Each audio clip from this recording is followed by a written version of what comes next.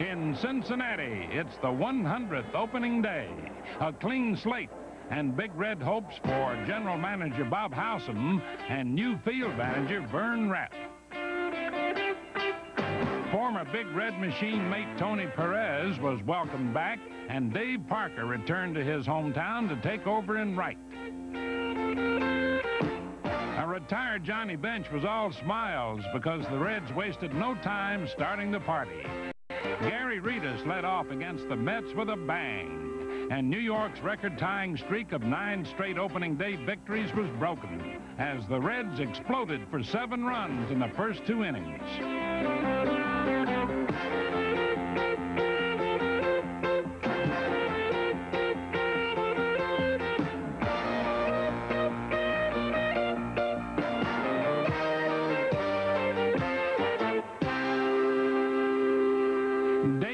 Concepcion took advantage of a remodeling job at Riverfront Stadium. The outfield wall was lowered from 12 to 8 feet, and that gave Davy his first home run this year. There it goes. The wall also worked for Eddie Milner, who went the other way for a three-run shot that would not have cleared a year ago.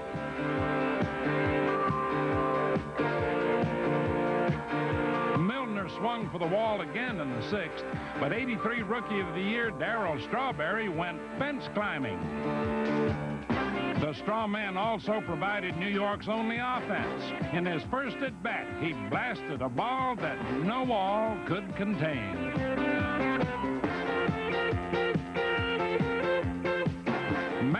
Soto was oh so fine on the mound. He went the distance and struck out eight as Cincinnati cruised eight to one.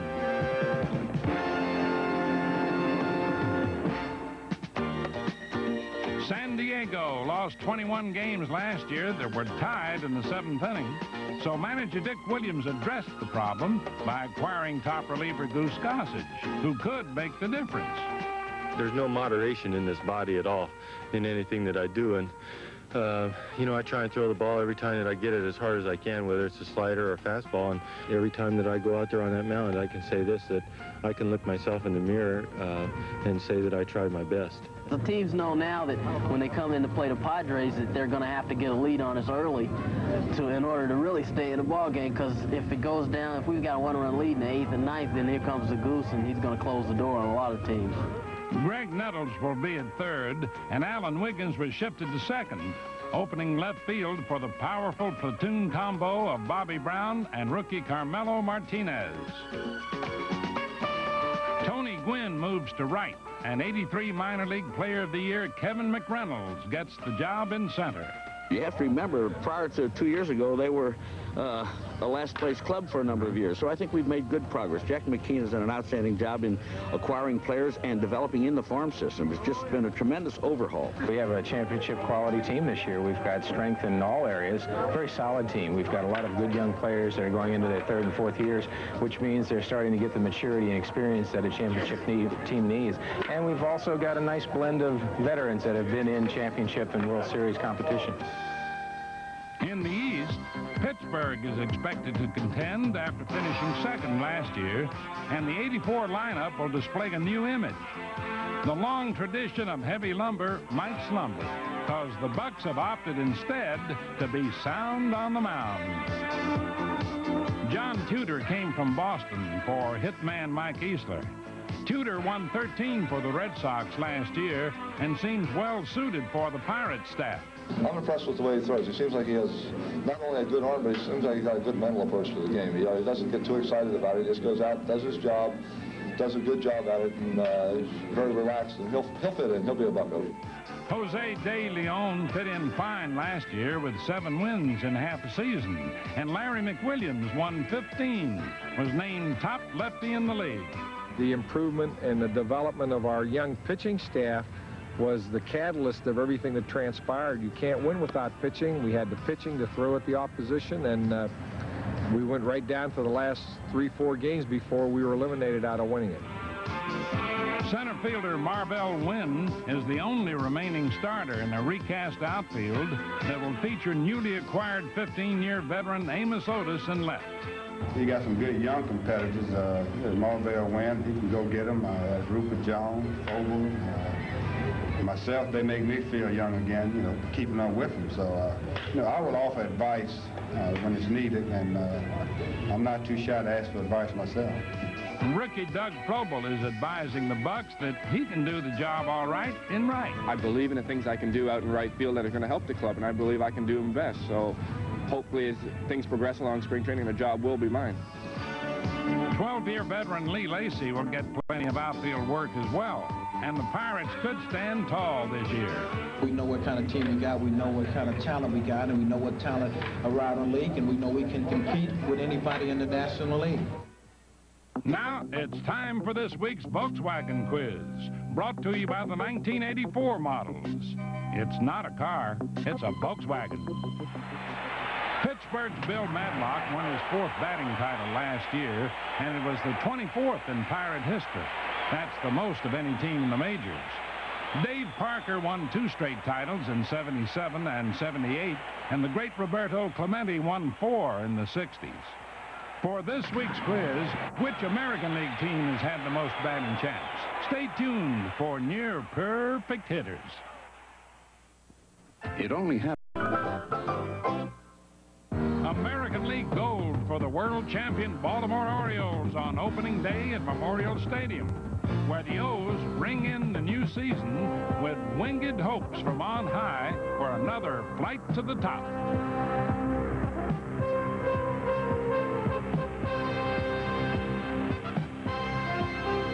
Everything was positively cheeky as President Reagan threw out the first pitch.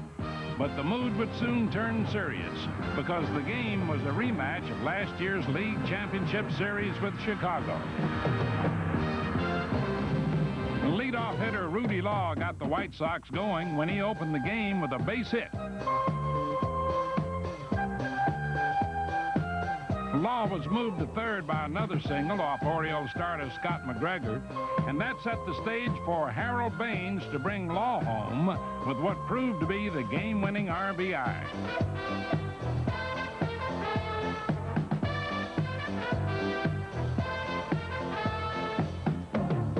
McGregor took the loss after surrendering three runs in the first two innings. Manager Joe Altobelli tried to summon a little Oriole magic, but Chicago's defense was not falling for any sleight of bat.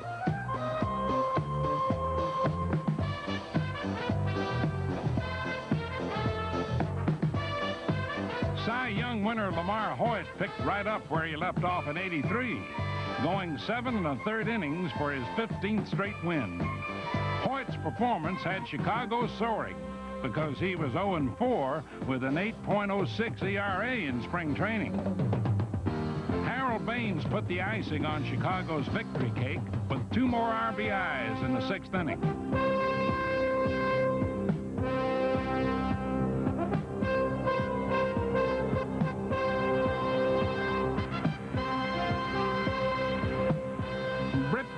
Passed the first test in his conversion from starter to reliever, closing out the O's to gain the save and give the Sox some sweet revenge with a 5-2 win. On to opening day at the Big A in Anaheim, California, where Ralph Houk's Boston Red Sox ran into an Angel Force named Ken Forsch, a complete game six hitter for Forsch, who struck out eight along the way, and he didn't walk anybody.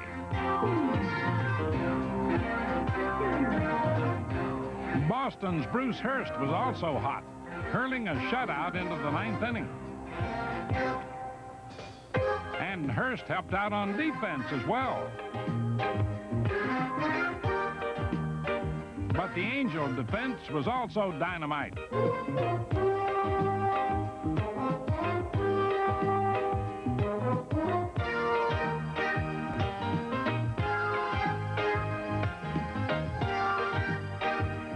With the game still scoreless in the eighth, Rick Miller pinch hit with a man on.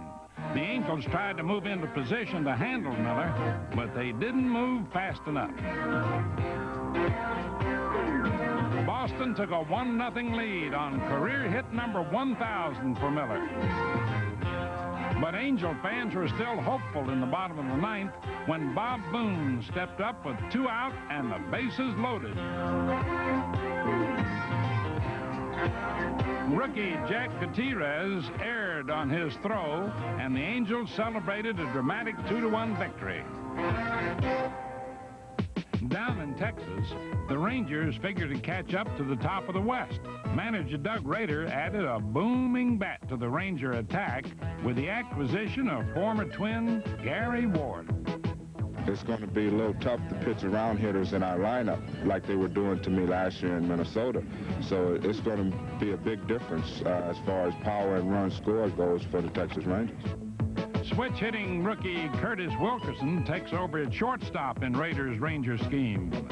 We're very, very diligent in the things that we're trying to accomplish, and we're, we're very confident in our abilities, and we did not lose too many ball games last year. We got beat a few, but we did not lose any too many ball games, and I think that kind of a positive feeling is rubbing off, and I think that everybody here is is uh, on the program, and they think that good things are ahead for us. Ned Yost was brought in from Milwaukee to catch the top pitching core in the league last year.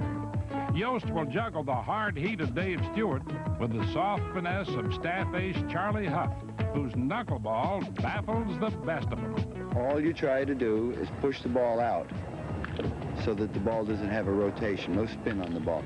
And I do it with these two first two fingernails. My thumb and fingers are on the side of the ball so I can let it go and just push it straight out. And ideally, I'd let the ball go and it would stay just like this all the way to the plate. And the wind resistance would make it bounce around a little bit. Having Charlie pitch the night before me is like having the lights on in one minute and then turning the lights off. It makes it hard for your eyes to adjust. The pitching is set, so if the hitting is there, the Rangers could roll. Last year we lost 52 ball games by two or fewer runs. And that just shows that uh, the, what we need to make up for is a little bit of offense. We led the, led the league in ERA and in defense. If we can score some more runs, we can be in first place later than the All-Star break. In the East, Toronto is showing all the signs of a division contender after a strong challenge through much of last season. The shadow of doubt that fell on the Blue Jay bullpen in 83 should vanish because right-hander Dennis Lamp was acquired from the White Sox and left-hander Bryan Clark came over from Seattle.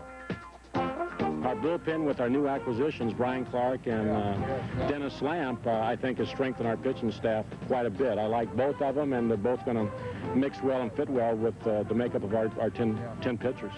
The Jays should kick up a storm on offense as well. The coaching staff put no pressure on youngsters like Willie Upshaw and showed patience with others like Lloyd Moseby. That plan is paying big dividends. I think Pat Gillick hanging with the young ball players uh, throughout thick and thin have, have definitely paid off. Uh, again, I hit 239, 235, and, and, they called me in the office and said, hey, uh, you're going to be my center fielder. So I think patience was the key. My first year hit 230, minor leagues and now rookie league. Second year single A hit 210. But they stuck with me. They showed a lot of patience, and I guess they knew that I was going to come around eventually hitting, and it played off. Well, Jesse uh, Pruitt Bat last year had the best home run uh, ratio, and uh, I'm looking for big numbers from him, but not putting any pressure on him. If he hit 15 and hit 300 and drove in 90, that'd be fine with me. But I think someday Jesse's very capable of hitting 40 home runs and possibly leading the league in RBIs.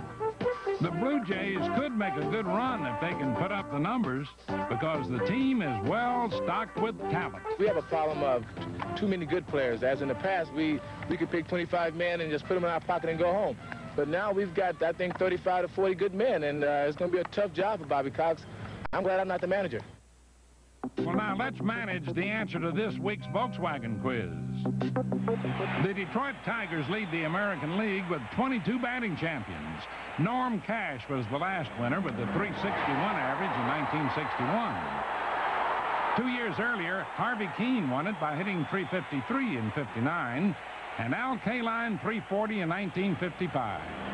Harry Heilmann won four, and between 1907 and 1919, Detroit's Hall of Famer Ty Cobb won a record 12 championships. Now you owe me four. Hey, good fishing. Television and baseball make a mighty pretty picture. Major leaguers appear on TV all season long. But they also watch their share. And just like anybody else, they sometimes fantasize about playing a character in a series or in the movies. So, gentlemen, tell us, who would you like to be? You really want to know, huh? Well, I'm going to tell you this. I think I'd like to be Johnny Olson on The Price is Right because I've always wanted to say, come on down. Beaver Cleaver. If I could be on Leave It to Beaver and have a chance to get back at Wally for all those innuendos he threw at Beaver all, all the years, I'd jump at that chance. I'd just like to appear on Dynasty one time so I could slap Joan Collins. I think I'd like to be someone like Rin Tin Tin. I mean, what other dog besides Lassie gets his own uh, TV show? I mean, that's that's classic Rin Tin Tin. I'd like to be Magnum. He gets all the girls. He's in Hawaii. He's driving around a Ferrari. Seems to having a lot of fun. That'd be great. If I cut my hair like uh, Mr. T and uh, put on all the, the, gold necklaces and the rings and the, you know, the bracelets, I feel that I can do just as good a job as he can. I like to be Richard Dawson of Family Feud. See, I think it's just great when you can go around and kiss any young lady and not be be rejected. See, I get rejected a lot when I try to kiss on women. I like Clint Eastwood's role personally. Uh, Make My Day is one of the greatest lines I've ever heard. Make my game. I like to be somebody like Lorne Greene because I know when I die, I'm going to come back again. When I come back, I'm going to be the head of a, a spaceship. I'm going to be the captain, the main honcho. I think I would enjoy being Mel Allen, uh, who does who's the voice for This Week in Baseball because uh, uh, day in and day out, he has uh, every, what, every Saturday or so on the highlights, uh, the voice itself is uh, something of a, a, Hall of Fame type of voice, and the cruiser is in that, in, in that company. That's the way to tell it like it is. Seriously, fans, baseball gloves have come a long way from the malformed, misshaped models of the game's earliest days. The modern mitt is made with far more care and precision. And although some players like Joe Morgan still use small gloves, most use a much larger version. well, not that large. But either way, a player's choice of glove is indeed a personal matter. Well, I had this one uh, 12 years. Uh, see, got a lot of holes in it. Just in case the ball comes through the middle it, I catch it in my bare hand. But I only had two gloves in the major league since I've been in baseball. Cardinal Ozzie Smith is called the Whiz for his glove work at short. Basically what it is is a old Stan Musial type of trapeze. Uh, they call it a six finger and simply because of the, the webbing in here, which uh, I guess is a little bit different from the, the gloves that they make today with the basket web and, and all of that. And uh, it's like I tell anybody that, that come to me and ask me about a glove. It's comfort. Used it when I was young, and I've always felt real comfortable with it. And um, they discontinued the use of it when I got here, and uh, I told them what type of glove I, I wanted. Uh, I sent one in that was ripped up, and they couldn't sew it back, so they started making it again for me. I like to keep a medium-sized glove. I don't like the ball too big because it seems to be too hard to get it out of the glove once you get it in there. Uh, and you have a better feel for the ball. I like to get them stiff to start off with because that way you can really shape them the way you want to. Uh, it seems like if you get a glove that's broken in right away, it wears out too fast and it gets too flexible and it seems like the balls pop out a little more. The small catcher's mitt of Pirate Tony Pena helps him shoot down runners with a fast grip on the ball.